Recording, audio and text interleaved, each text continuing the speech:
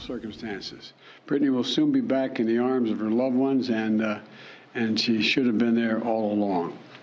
And now I'd like to uh, uh, invite Cherelle to say a few words, to you all. Of course, she's not excited at all about this. Cherelle, it's all yours, kiddo. Congratulations Thank you. again. Thank you.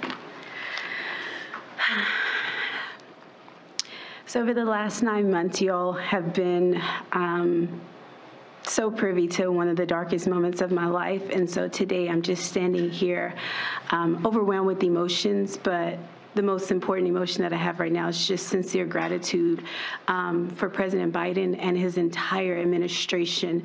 Um, he just mentioned this work is not easy, and it has not been. There's been so many hands involved, and so I'd like to take a moment to just specifically mention a few.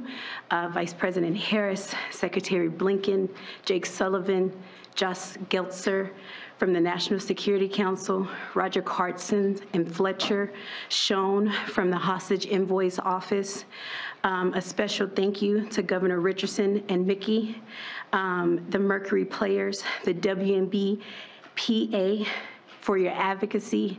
And also, um, you guys may not know this, but um, my family has been tremendously supported by the Wasserman um, Agency, BG's agent, um, Lindsay Colas. It's just been amazing for me and my family throughout this process. So um, today my family is whole, but as you all are aware, there's so many other families who are not whole. And so BG's not here to say this, but I will gladly speak on her behalf and say that BG and I will remain committed to the work of getting every American home, including Paul, whose family is in our hearts today as we celebrate BG being home. We do understand that there are still people out here who are enduring what I endured the last nine months of missing tremendously their loved ones. So thank you everybody for your support.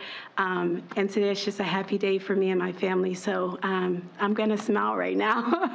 um, thank you.